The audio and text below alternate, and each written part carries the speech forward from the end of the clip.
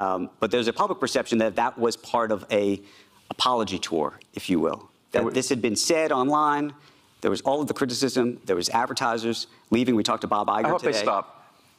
You hope Uh, don't advertise. you don't want them to advertise? No. What do you mean? If, if somebody's going to try to blackmail me with advertising, blackmail me with money, go fuck yourself. But Go fuck yourself.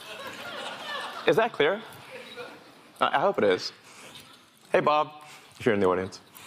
well, well, let me ask you then. How do you think then about the economics of, of X? If, if, if, if part of the underlying model, at least today, and maybe it needs to shift, maybe the answer is it needs to shift away from advertising. Um, if, if you believe that this is the one part of your business where you will be beholden to those who uh, have this view, what do you do? F Y. I, I understand that, but there's a reality too.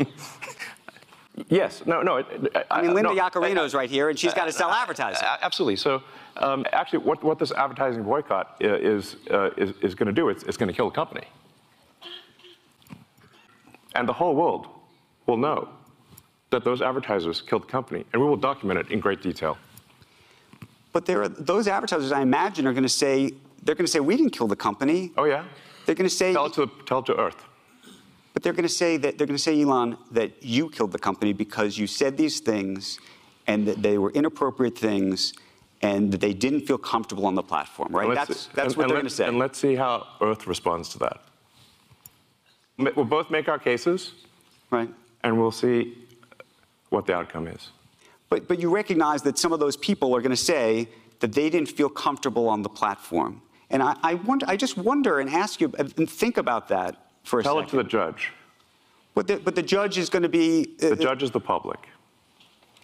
and you think that the public is going to say that, that Disney is making a mistake. Yes. And they're going to boycott Disney? They already are.